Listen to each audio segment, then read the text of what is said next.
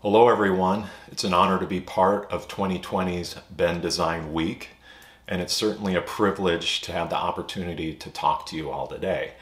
Um, you represent the current and next generation of creative leaders at a really critical time. I think we could all agree with that. And so I want to take this moment to share with you what I believe will be the creative leadership characteristics that we will need more of in the future more of to intentionally drive lasting positive cultural impact in the world today and tomorrow that ultimately leads us to this idea and ideal of equality by design. So, to do that, you know, we have to start with the current landscape in America.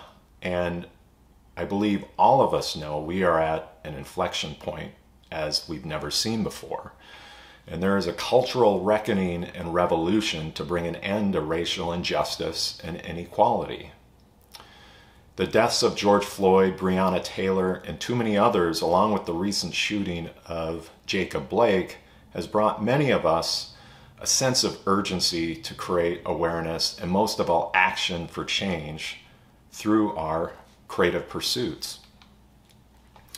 So, Last week, I took my daughter, who's a high school senior and who's also an aspiring creative director.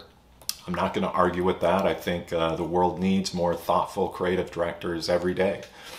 Um, and I took her down to the protest art murals in downtown Portland. And I wanted her to see the important role that artists and designers play as visual storytellers in moments like this. They reveal the truth in ways that connect people emotionally to movements that we see today. Um, George Floyd's death brought back memories of my own experiences in Minneapolis. I was born and raised and attended the Minneapolis College of Art and Design. At that time, there was just this great distance and mistrust between the black community and law enforcement. And I'm saddened to say that that mistrust and distance continues to exist today. So while I'm disappointed and saddened by that, I'm also extremely motivated and hopeful because this inflection point is this incredible opportunity and stage for creatives across all disciplines to really take the stage and lead the transformation into a better tomorrow. If you simply look at the outpouring of creativity right now in the palm of your hand, you'll see artists and designers every day amplifying the Black Lives Matter movement like never before, using their work to stir emotions and unify people through a common cause. Now, this creative work serves as a catalyst. Not only does it provoke reflection, but it also creates action both by inviting people into the conversation through inspiration, and most importantly, empowering them to act through education. So, why us? Why do I feel this moment for creatives uh, is the one to take the stage? What is it about us that the world needs more of right now? Well, we're the crazy ones. Um, as right side of the brain thinkers who see things in nonlinear ways, we're able to see what others see, but truly find what others don't and reveal it. We're the daydreamers who ask the question, what if? and say, why not? We're also the quiet ones. If you're like me, oftentimes you simply want to speak through your work, your creativity. And this is a time where we need the quiet voices to speak the loudest through their craft. And believe me, as I look across the landscape, the door is open for the quiet voices, certainly within the field of creativity. It's wide open for us. And finally, the diverse ones. I believe diversity is oxygen. It's the air that breathes life into the creative process of innovation.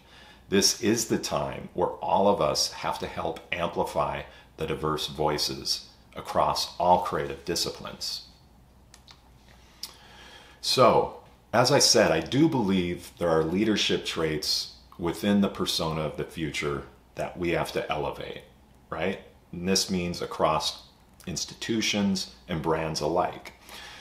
Um, this will allow us to drive the kind of positive cultural change in the future that I believe we all need. And by the way, when I say leader, I mean all of us, whether you're the leader of one or the leader of many. So, what are the characteristics that make up that consumer persona? Um, what are those traits that people are going to be able to feel when they're around us through our actions? What are the traits that we can be more intentional about in the way we live and express through our craft? And in the way we engage with one another. So, what I'll do is I'll use uh, examples uh, through my Nike career that I had the privilege of working on to illustrate some of these characteristics. So, the first trait is visionary. Uh, this ability to imagine a better future and express it in a way that really compels people to build that future with you. When it comes to being a visionary, we creatives have an advantage. You could call it a superpower. We don't just talk about the vision and where we could go, we show it.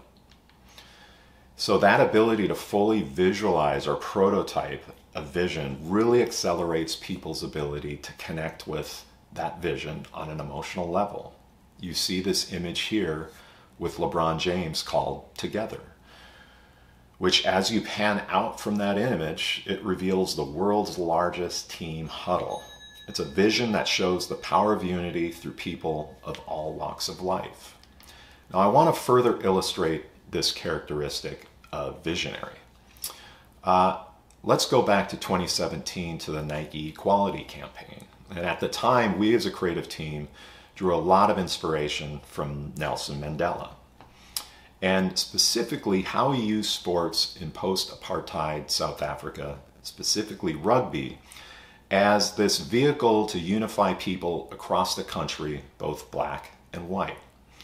And as he says in the quote here, sport has the power to unite people in a way that little else does. The Equality Campaign allowed us to address racial injustice and inequality in America that was happening around us with far too much frequency. And the vision for the campaign that we started with was clear. That is, the ball should bounce the same for everyone in America, just as it does within sports. And we launched our equality film at the Grammys that year, narrated by the actor Michael B. Jordan, with music created by the great Alicia Keys. Let's take a look. Is this the land history promised? Here, within these lines, on this concrete court, this patch of turf. Here, you're defined by your actions, not your looks or beliefs. Equality should have no boundaries.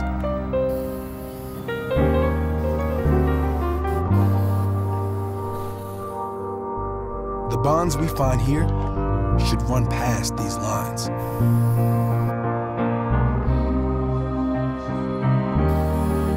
It's been a long, long time coming. Opportunity should not discriminate. The ball should bounce the same for everyone.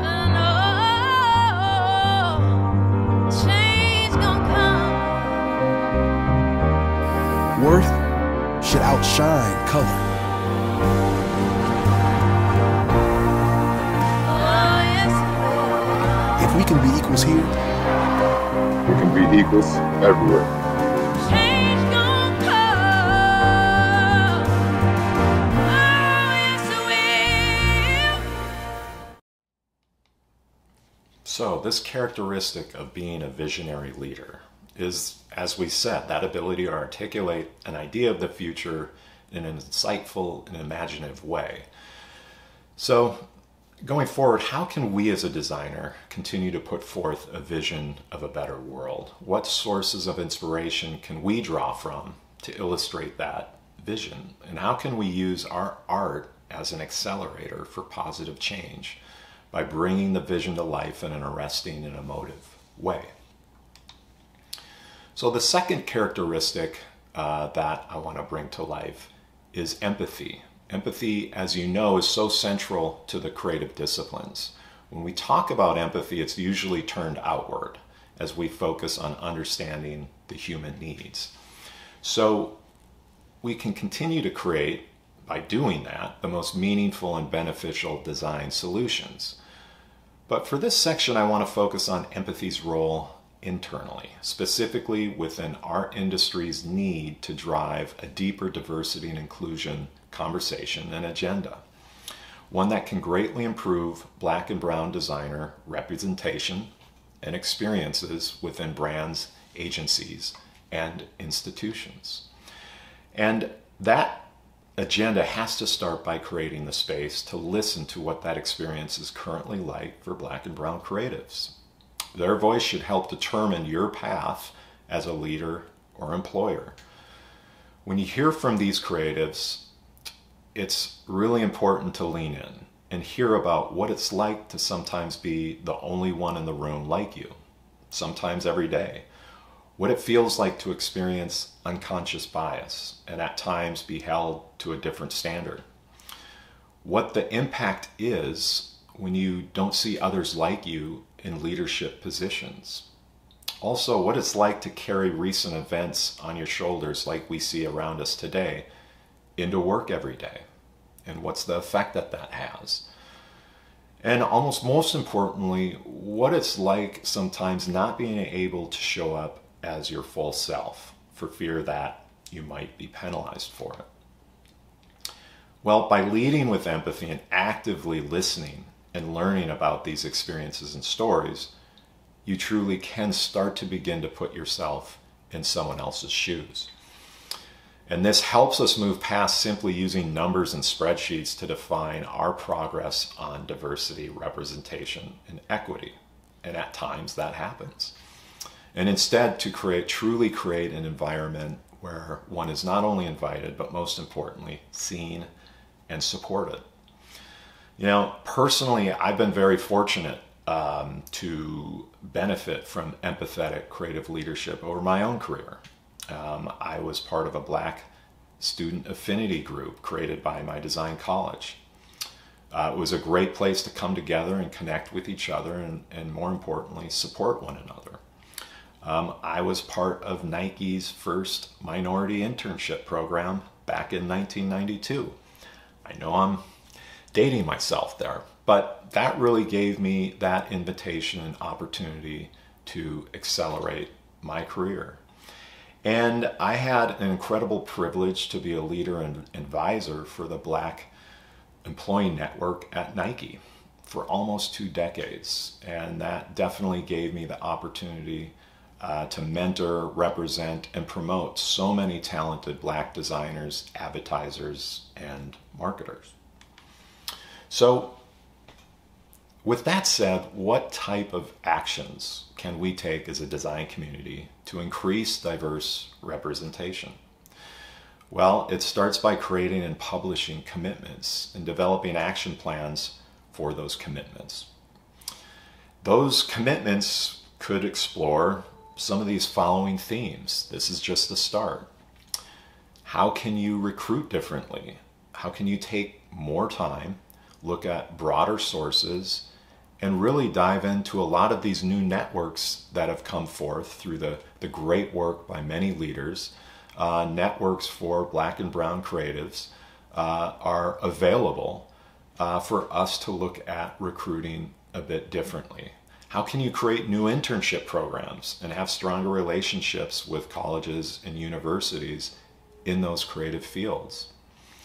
How can you help start affinity groups for people of color either as an advocate or a member.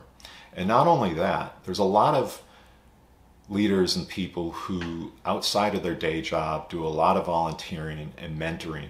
Um, and oftentimes it can be seen that it takes away from uh, the, the day-to-day work that they're supposed to be doing. And I would say that if anything, it's going to enrich their ability to deliver great results by being a mentor and a leader uh, in driving this diversity across our industry.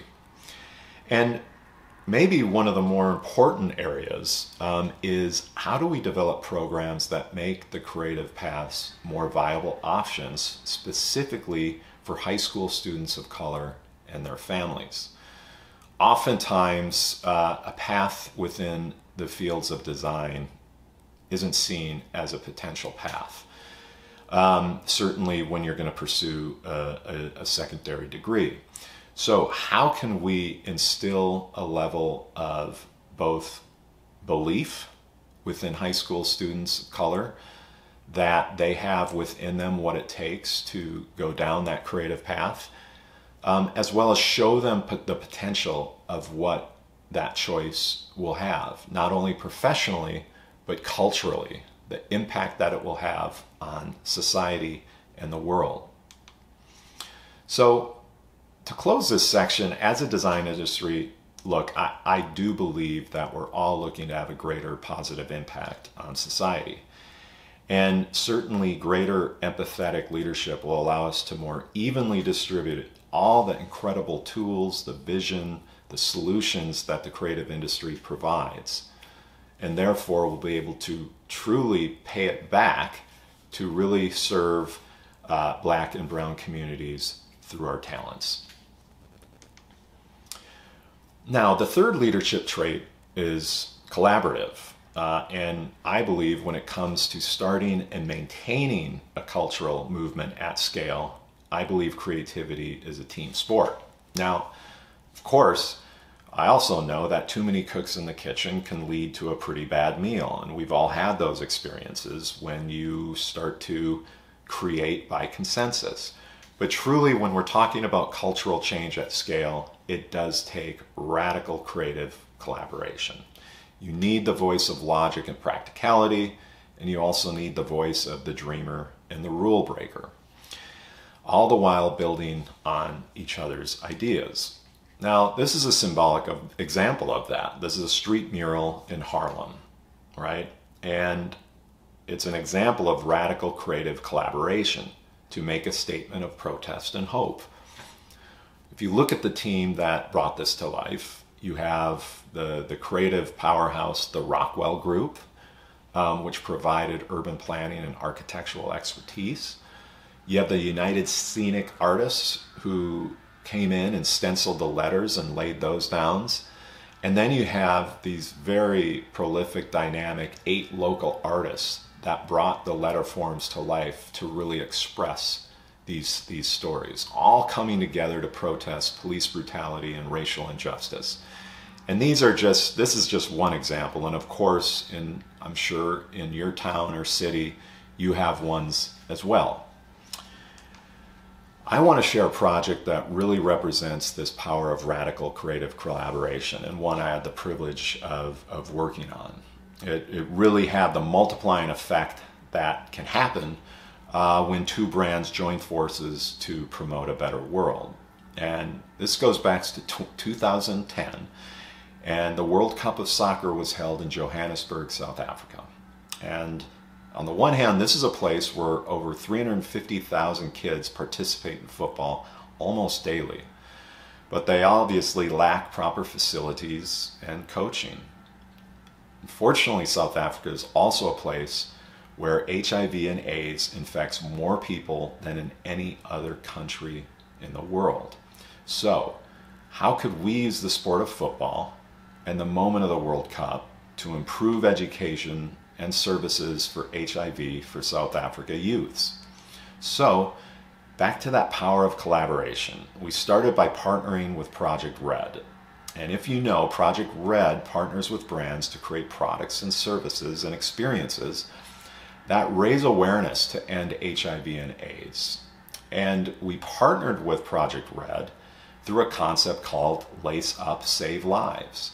When someone around the world would buy a pair of these Nike Red laces, Nike contributed money to support programs that offer education, medication on the ground and in Africa. And it was incredible to see the support through this program. We also wanted to take it a step further so it could really be felt on the ground in South Africa. And we designed the Football Training Center in Soweto, where 20,000 young footballers every year have the chance to exercise their football talents while also receiving access to HIV AIDS education through football life skills programming. So, this is an example of the power of creative radical collaboration and how, in this case, sport, education, and medication can unite and lift up underserved and really underrepresented communities. So, I ask you, what radical collaborations might you bring together in the future to bring about positive social change at scale? We, the creative industry, can have an incredible multiplying effect by bringing these different entities and points of inspiration together. The final leadership trait is courageousness. And I do believe we are at a time that requires it more than ever. This is not a time to play it safe, especially in the creative arena that we live in. And of course, being courageous is in our DNA. Um, every day we have to represent our work, which is highly personal, um, and express our POV to our audience and to our clients. Colin Kaepernick, I feel, is an embodiment of what it means to be courageous. Here you see portraits of Colin shot by the photographer and humanitarian Platon, who is someone I'm proud to call a friend. Um, these photos were from the final campaign I took part in before I retired last February. And each of these photos represents seven moments and seven values for Colin. And these photos were donated to the African American Smithsonian Museum in Washington, D.C., along with many other of Platon's photos that he created over the years of important champions of equality in America. But I want to go back to September of 2016 when Colin Kaepernick kneeled for the first time during the national anthem. And he did this to protest racial injustice and police brutality. Now, leading up to that point, too many unarmed black people were killed by law enforcement, from Trayvon Martin to Eric Garner and too many others. Now, when Colin knelt, um, the public sentiment in a lot of areas at that time felt Colin was disrespecting the flag and the country. And fast forward to the summer of 2017, Colin still didn't have a team to play, even though he was easily one of the best quarterbacks in the NFL at that time. And during that time, Colin came to campus, the Nike campus, and we had a small, intimate lunch with Colin. And I had the great privilege to sit next to Colin and really lean in and listen to his words. And he said it over and over again that this movement, this protest was not about him. It was what the protest represented and wanted to bring and shed light to and bring an end to racial injustice and police brutality. Colin made it clear at the time that he wasn't interested in his own campaign. Now, we felt that there was a way we could amplify Colin's voice and do it in a way through a campaign that would represent all sports and all athletes and help lift everyone to that higher purpose and create the change that we passionately believed in as a brand at the time. And ultimately, this became the Just Do It Crazy Dreams campaign, narrated by Colin Kaepernick, featuring athletes like Serena Williams and LeBron James sharing their stories and inspiring people saying, It's only a crazy dream until you do it. Not once did we discuss what kind of impact this would have on our business. This was about creating profits of a completely different kind. So, yes, Nike, we had people decide that they didn't want to buy our products, uh, but that goes with the territory when you stand with conviction behind the athletes that represent your brand. Now, what Colin Kaepernick started is now a movement, as you can see across sports. You see LeBron James and the NBA players showing their solidarity in taking a knee to protest racial injustice. And that narrative has shifted, and the sentiment has shifted to go from disrespecting the flag or being unpatriotic to the greater understanding by far more people today about peacefully protesting racial injustice. Now, as you can see across all the professional sport leagues, their commissioners support this act. You see everyone from the cricket players here to the football teams in Europe, Bubba Wallace, NASCAR's only top black driver, and the women of the WNBA. And finally, recently, we saw Naomi Osaka win the US Open while protesting the victim, victims of police brutality. And it's just really impossible not to be moved by these heroics. So I use this movement that Colin led as a way to illustrate not only the trait of courageousness, but all four creative leadership characteristics that we will need more of. His acts and leadership showed the vision that it was needed to convey, the empathy that it embodied, and the collaboration it took to get the message out. All of which served as a catalyst to see the momentum in this movement that we see today. And I close with where I started. We as creatives have so much to give to this moment, right? This is time for us to take the stage. Let's help close the distance between the privileged and the underserved, and most importantly, between us and our potential as a human race. Thank you.